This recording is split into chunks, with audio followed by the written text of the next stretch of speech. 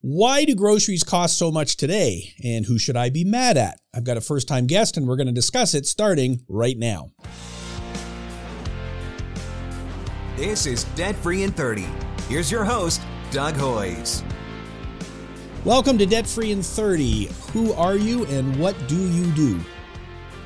Well, I'm Sylvain Charlebois, uh, known uh, as the food professor for people who can't pronounce my name or spell my name. So the food professor is really the, the nickname I go with.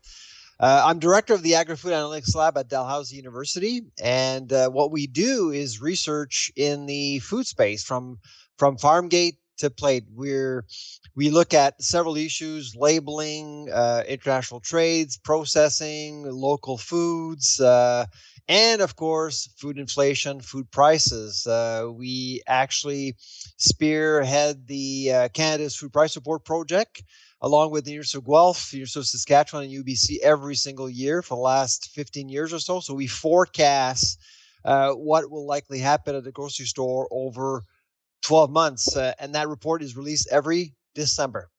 Fantastic. And so the Food Professor. I will put links in the show notes. You have a, a, podcast called The Food Professor. Your Twitter handle is Food Professor, so easy to uh, easy to track you down.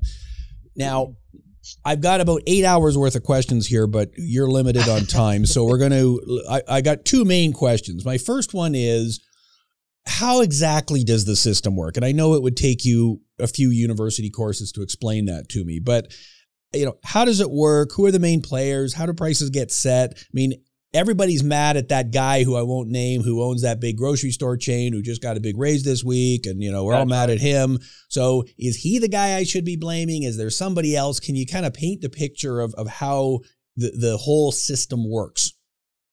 Yeah, so, so it's not that simple. Uh, I don't think that Galen Weston is responsible for uh, Germany's 20% food inflation rate. Okay. It's a global phenomena. Let's face it. Canada actually has the third lowest food inflation rate within the G7 right now. So uh, we're not doing too badly, but I don't think a few people, I think that few people actually care what actually is happening in Europe and elsewhere around the world. So we have a really robust food system in Canada, and it's basically uh, about production, farmers. Uh, it's about processing. Uh, it's about distribution and retail. Uh, and of course, we can't forget about service. Service restaurants are about 30% of the uh, agri food pie in Canada. The entire market is worth about $240 billion in Canada. So about 70% of it is, is retail. Uh, and that's dominated by a few players. I think everyone knows that by now. Uh, Loblaws, Sobeys, Metro, Costco, and Walmart. Uh, those are the fives. Uh, so we have a much more con- consolidated market than in the US, for example in processing, it's all over the place. It's uh, it's global, it's local. There's all sorts of stuff going on. We don't process a whole lot in Canada specifically. Uh, most of the processing actually occurs in Ontario. Ontario actually has um, uh, the largest food manufacturing sector in the country, and actually it rivals with cars in Ontario. So it's a pretty big sector. Nobody really talks about it, but it's a big sector. Quebec actually processes a lot of its commodities too, but elsewhere it's not. Its processing is not really key. So we do import a lot from from elsewhere, mainly from the United States. Now. As far as production goes, there's lots of trading. I mean, lots of our farmers actually do produce for the world, not just for Canadians. That's why often people say, How come my bread is more expensive? Don't we produce wheat in Canada? We do produce wheat in Canada for the world. And so that's why when uh, some tyrant decides to invade Ukraine uh, and uh, wheat futures go up, it impacts our own farmers as well. So everything is interconnected, which is why I think over the last 12 months, people are starting to realize that we're just not immune to what's going on uh, in the rest of the world. So it's a very complicated thing. It is not one guy who is jacking up the prices. It is literally a worldwide uh, phenomena. Now, you said that Canada has the third lowest inflation, food inflation rate. Out of the G7, so out of the the, the including the EU, including correct. the EU. Okay. Yeah. And now when I look at the numbers, and we're recording this in April of 2023, if I've got my years right, um, the inflation rate overall has come down a little bit. I think the last print I saw was somewhere in the five something percent range. Maybe I'm wrong. Yeah. The food inflation rate, though, is higher than that. We were bumping up in the 10% range, I believe, last numbers I saw. Is yep. is there a reason that the food inflation rate is higher than the overall inflation rate, or is it really what you just said? There's a whole bunch of different factors that that flow into it. Uh, well, so right now we're really watching the gap between the inflation rate and the food inflation rate, and a lot of people are wondering why uh, are food prices still uh, skyrocketing at the grocery store while uh, the inflation rate is dropping. Well, essentially, there is a mechanism in place uh, around the world to reduce the inflation rate, and that's called the uh, uh, the bank central rate. Uh, central banks uh, do have uh, some power and ability to influence inflation. The problem with food is that it's, it's highly volatile. It's like energy. You know, you have OPEC deciding something, and all of a sudden oil actually goes up or down. It's the same for food. Food is it is uh, is not necessarily impacted by interest rates. It, it I mean, rates will impact uh, how the system is capitalized, but it doesn't really impact food distribution over the short term over 12 months, if you will. So that's why it takes a while. But that gap is pretty significant right now at 4.5%. Uh, we are expecting that gap to narrow. It has narrowed actually in February, so we are expecting that gap to narrow. And once once that gap narrows, people will stop being spooked at the grocery store because it's pretty violent at the grocery store right now compared to what we're seeing uh, in the economy. Yeah, I totally agree. And I mean, I'm on record as predicting that the inflation rate overall will be a lot lower at the end of the year than it is now. I guess we'll we'll wait and see whether that comes true. I hope you're not. right. I think you're right. Yeah, actually. well, good. And I'm yeah. not not often right, but now you and I had a quick chat last week, and you made me aware of something that I should have been aware of, but I'm kind of oblivious sometimes. I would like you to explain to me. I mean, I think we all know what shrinkflation is. Yes. I go to the store and that bag of whatever used to be this big and, and it's still the same size, but there's less stuff in it, but the price is, is the same. How does shrinkflation get roped into GST and HST legislation? Yeah, so let's start by explaining what is shrinkflation. A lot of you, your viewers may not know what shrinkflation is. Uh, it's basically a strategy uh, used by manufacturers when commodity prices go up. When input costs go up, they tend to shrink, reduce quantities to keep the same price, to keep market shares essentially. And so it's been going on for 40 years, but me people are way more sensitive about it right now because because of inflation. And so that's been going on for for a very long time. But uh, here's what's new. Uh, now, the CRA, the, the the Canadian Revenue Agency, has had guidelines for several years now, over 15 years, about uh, about the the difference between what is grocery and what is not. What is what is snacks and what are snacks. And um, right now, we're seeing more and more products being shrinkflated so much that they're becoming uh, they're considered now as snacks not as groceries. For example ice cream. If you buy a um, container of ice cream below 500 millimeters uh, milliliters and there are lots of them like Haagen-Dazs uh, Tim Hortons, uh, Ben and Jerry's, all of them have actually fallen below 500 milliliters that's a snack now. So if you go to the till, you'll be added. There's they'll add a tax, and sometimes you don't even notice. It's not really explicitly mentioned uh, on your grocery receipt. Granola bars, uh, six bars in a box, not a snack. Five bars, that's a snack. So it tends to cost way more. So some of the fiscal policies that we have in Canada really add to your food bill without really noticing. And so that's why when people point fingers at Galen Weston and Loblaws and other grocers, they don't necessarily look at the other parts. There are lots of moving parts making our food more expensive. And I actually did some research and I went to the uh, Revenue Canada website, and sure enough, what you're saying is actually true.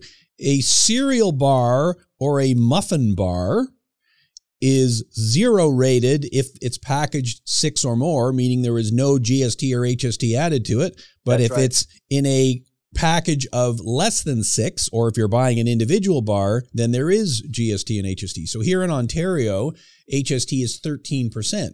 So I pay 13% more to buy five bars instead of six. I mean, obviously, I'm, right. I'm paying more because I'm buying more bars, but uh, there's Yeah. a, a tax on the the lower number. And so, if I'm a parent and I like to put a cereal bar or a muffin bar or uh, in my in my kids' lunch, and I you know go to the grocery store every week, okay, there's five days in the week. I buy a pack of five. I'm paying a lot more than if I was buying a pack of ten or or you know getting the the big bulk thing. So that's a you know a huge thing. And and if I was looking at this a few years ago, everything was packed as a six or a seven or an eight or a nine. But with shrinkflation, I'm now getting tipped over in the five. So that's why this is such a big You're- issue right you're, now. You're forced. You're forced to pay to, to pay a tax, basically, yeah, and it's and, and none of that money goes to Loblaw or uh, the retailer. Yeah, it's it's going straight to the government, which I guess is good because we all own the government. But this seems to me like something that disproportionately affects people who don't have a lot of money. I can't afford to be investing in the fifty pack of of cereal bars because I've only got limited cash each month, so I have to buy the smaller ones. So I end up end up paying more. Now, you wrote an article in the Toronto Sun that was published on March 29th, and you were critical of the federal budget that came out in March. There is a grocery rebate that is coming out, which um, you quote you are quoted as saying it is a handout, is a mirage for the needy. Yes. And now I think you agree that Canadians are suffering. I don't think there's any you know doubt Oh, about that. yeah. And I think you and I both agree that the people who are suffering the most are the people at the lower end of the economic scale for the reasons we just talked about. So the government has said, here you go, we'll give you some money. You don't think that's a good idea. One of the reasons you don't think it's a good idea is because throwing out more money just creates more inflation. So prices are going to go up even more. If you were the the guy with the magic wand, instead of the grocery rebate, what would you have done instead? Well, I, I would look. I would have looked at uh, food banks for one. I mean, the food rescuing network is very, very efficient. Uh, in fact, our lab uh, worked with the uh, Auditor General of Canada a few uh, a few months ago to review programs that came out uh, as a result of COVID. And the program that was the most effective related to food was the program that actually allowed food banks to get more money to help people right away. The difference between food banks and the government is that food banks can turn on a dime and, and service a population in need. So that's one thing I would have done. And it would have cost probably much less than $2.5 billion. And you probably know this a lot of that money won't be spent on food, it will be spent on something else. So it's not a grocery rebate per se. Secondly, with a food inflation rate at 10%, I, I think as a country, it's time to start thinking about uh, long term programs.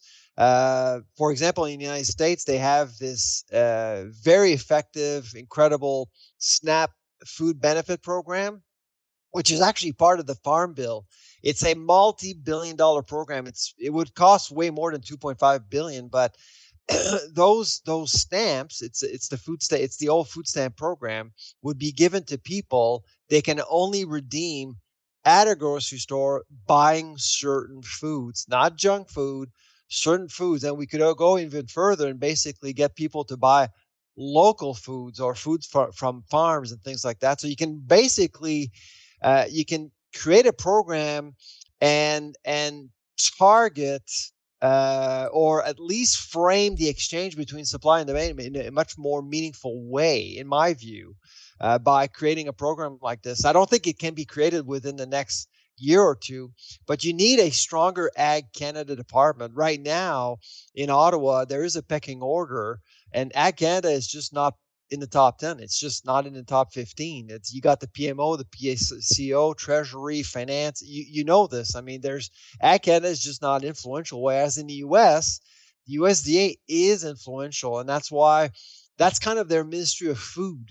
Uh, until we actually create a ministry of food in Canada, focusing on food and and have a budget looking at food, because if you look at the budget, there's no there's no section for food. It's it's all over the place.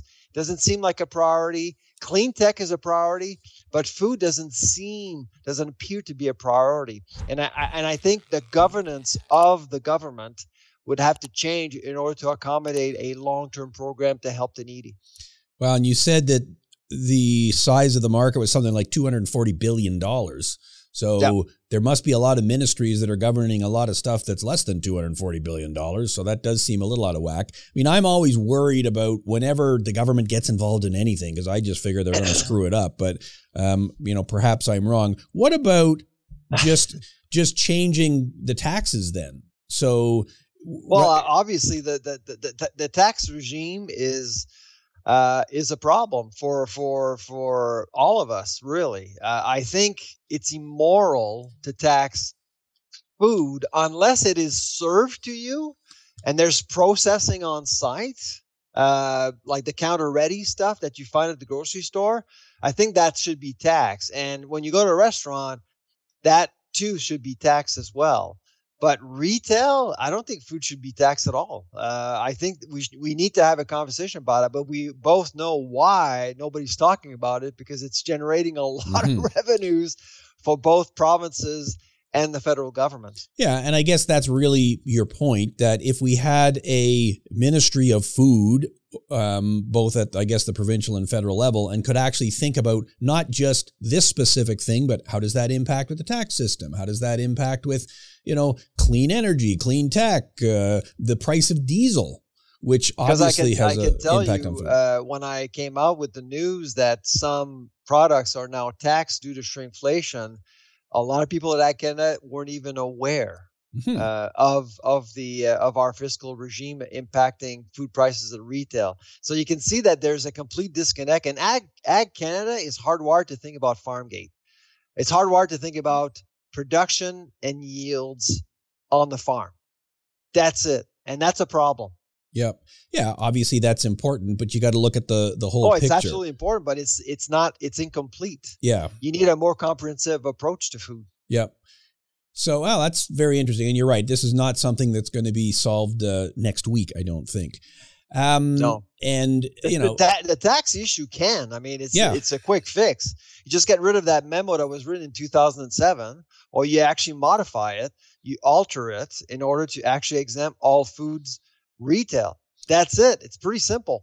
Yeah, and, and I'm a chartered accountant, a CPA. I've studied tax. You know, I, I I'm you know I guess as close to a knowledgeable person about that as anybody. And when you and I talked last week, I went and started digging into the legislation. Good lord, mean, it took me a while to figure out because it's not like there's one place you can look that has everything. There's this memo in 2007, there's the legislation, there's this. The, so I'm thinking, okay, if I have to spend a whole lot of time trying to vaguely figure it out, then obviously it is a bit too complicated and perhaps some simplification would be would be a good idea.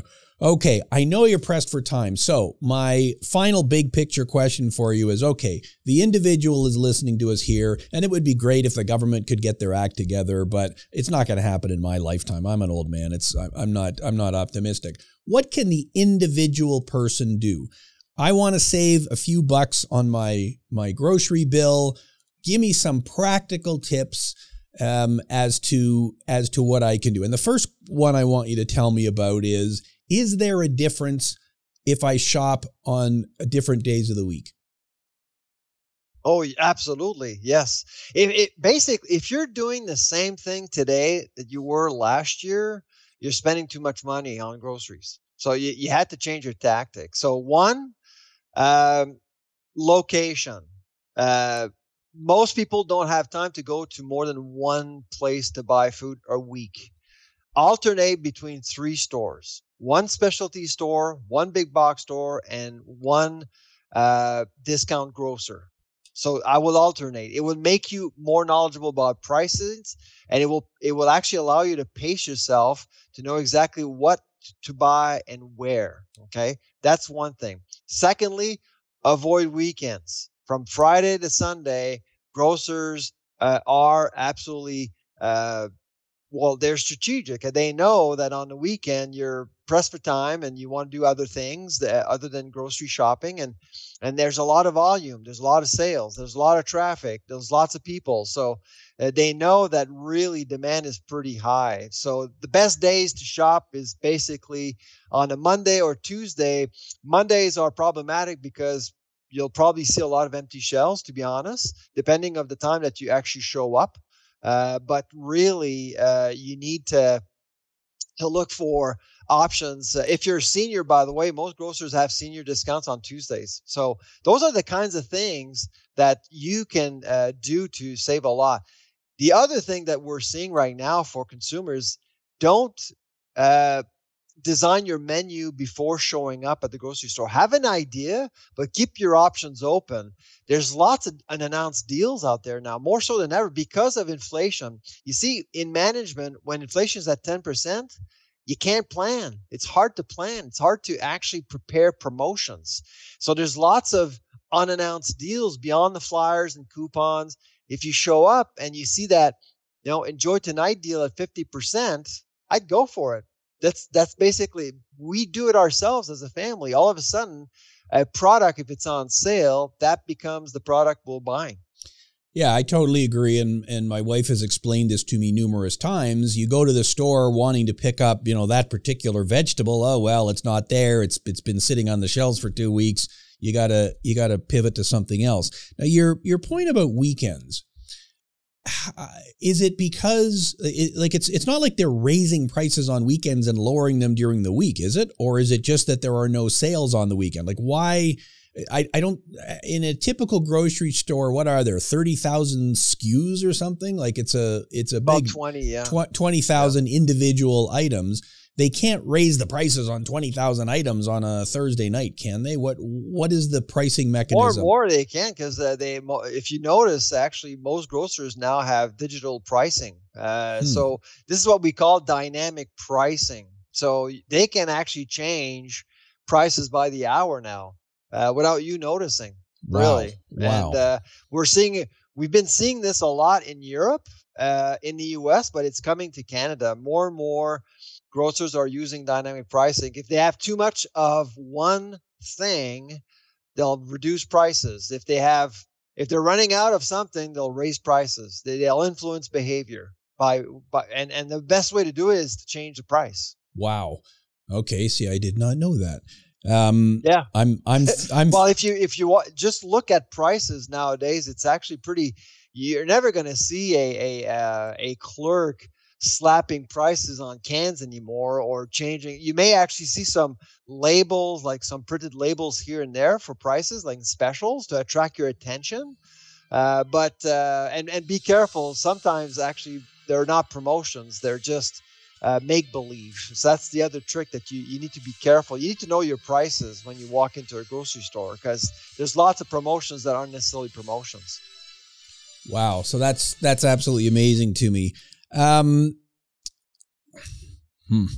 So we've we've really got to be on on our game. You you said shop at three different stores: specialty, big box, and discount uh, grocers. So you're not saying. And, and I, I want to emphasize on the specialty store because a lot of people, and I know that in in the GTA, in many many cities you do have specialty stores that actually offer you some really good deals a lot of people think if it's small it doesn't necessarily mean cheap Actually, it does. Some independent grocers have some good connections with specific suppliers. And so they'll, of course, not everything is a deal in those stores, but sometimes to get you there, to get you to work, because they don't offer necessarily everything like a Loblaw or a big box store, but uh, it will it, they will give you some really good deals for specific products. So I, I take the time to actually look around. And I guess particularly if you're looking for something special, you know, a, yep. a, particular type of food or whatever, then that would be obviously what a specialty store is. So you wouldn't necessarily be going to, um, I don't know, let's use Costco as the example. You wouldn't necessarily yep. be going there every week, or would you? I would go every three weeks. Every Yeah, three weeks. absolutely. Okay, so you'd be Yeah. you'd be cycling them around. I go to this particular store, uh, like the, the small specialty store. I'm not going to go buy paper towel and toilet paper because that's not what they what they do. I go to the the regular retailer for that, or or the, Costco's they- model is, is the simplest in the world. Costco's a bank. Uh, they don't really finance their stock, their stuff. What what's on the on shelves, uh, suppliers finance. They have four thousand SKUs and they make 15 percent. So when you buy a bar uh, of jar of peanut butter at nine bucks, they make fifteen percent off that. It's pretty simple, but it doesn't necessarily mean that they actually will have what you're looking for. That's the thing. Every week they'll change because it's 4,000 SKUs, 15%. That's what drives their business. And of course, you need to pay uh, the right to get in into that box store, $60. They make over $300 million without selling one darn product. It's it's an amazing. It's all about cash flow for Costco, but that's really what they do. They they don't really care if they have a huge portfolio of jam or coffee. All they care about is 15%. Yep, and I did a detailed podcast on that a while ago. I'll put a link in the show notes to it. When you look at Costco's profit, and this is going back a couple of years when I last looked at it, their profit is about the same as what they charge in membership fees. So it is Yeah. the it is the membership fees. They can essentially sell all the groceries at cost so long as they're they're getting the membership fees, which is I guess a reason to pay the 60 bucks if it makes sense to you. A lot of people will partner up with their friends or whatever and and, And and they have two loss leaders, massive loss leaders. Over the years, they've actually maintained that strategy since 1984.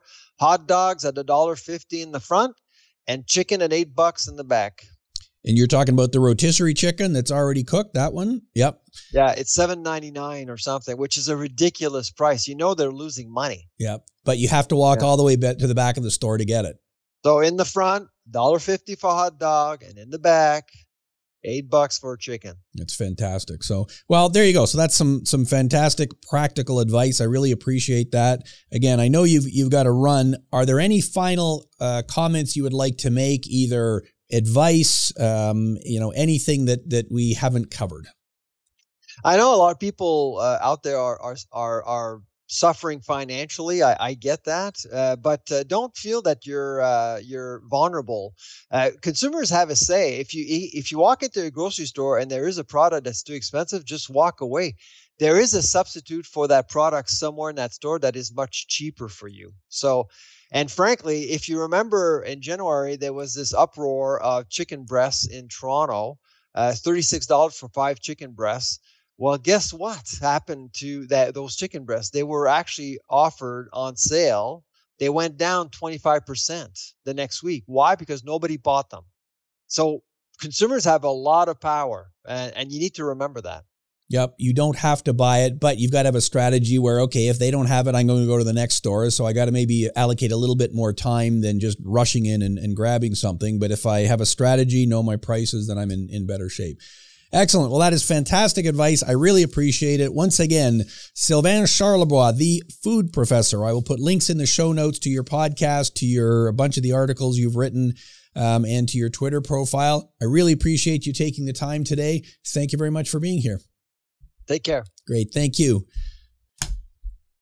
That was Dr. Sylvain Charlebois, the food professor. I will put links to everything he talked about in the show notes, both on YouTube and on um, uh, on the the uh, audio version, which you can get every Saturday morning on Spotify, Apple Podcasts, iTunes, whatever it is you listen to. Um, food is obviously a huge issue. It's something that everybody is constantly worried about and concerned about. And so I think it was good that he gave a bit of an overview. This is a worldwide phenomenon that we're experiencing. Um, but there are practical things you can do, and he, hit on them.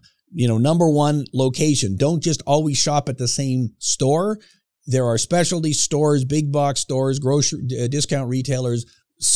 Go around, look at the different stores, know what you're looking for, and uh, you know, go to the store that has the best deal for you. Avoid weekends. I did not realize that dynamic pricing was as big a thing as it was. I guess I should have known that, but I obviously am not paying a, enough attention. Prices will be lower on Mondays, Tuesdays. Mondays, maybe not a great day to shop because the shelves are empty, but Tuesdays, hey, if you're a senior, there might be senior discounts, but by then the shelves are a little bit more full, but the prices have not yet been jacked up, which they would typically do on a Friday, Saturday, or Sunday because that's when they know people have more time. So again, be conscious of that. And if you know your prices, you can see when they're they're doing it. And then the other tip he gave was don't design your whole meal plan before uh, going to the store. Now, this was something that everyone always said make a list. You have to have a list. I know my mother, you know, 50 years ago when I was growing up, she had a list. She knew exactly what she was going to go to the store to buy. And part of that is important because, well, if I ran out of that thing, I, I, you know, need to buy it again. So I need to have it on my list. But if you've planned out your meals before you go to the store and you go and you find out in his example that chicken breasts are 36 bucks, hey, you know what? I'm not doing chicken breast this week. I'll do them next week when the prices come down. Let's see what's on sale. Let's let's adjust. So there's a bit more work and thinking involved, but he did say that consumers do have the power. You can buy that thing or not buy that thing. So that's why it's so important to understand what's going on and make an active decision as to as to what you're going to do. I'll also put a link in the show notes to the episode I did on Costco, which was kind of interesting, and also to the ballad of the $20 bill, the fable of the $20 bill I, I did, where I made the point that sometimes you got to save up money so that you can then go to the big box store and buy that 50 pack of cereal bars, muffin bars, granola bars, whatever it is, so that you are avoiding the GST, which is what you end up paying when you're buying in smaller quantities. Not, not possible for everyone to do. But again, if you understand how the tax system works, a lot easier to mitigate against it. So, so there you go. Food inflation and what you can do about it. I hope that was helpful. Uh, if you're watching this on YouTube, please hit the like button, link, subscribe. We'd be happy to uh, um, get as many, get this word out to as many people as possible. Let's get the YouTube algorithm working in our favor. Um, and if you are listening to the audio version, again, please subscribe so you are notified every week when a new show comes out. That is our show for today. Thank you for listening. I'm Doug Hoyes. That was Debt Free in 30.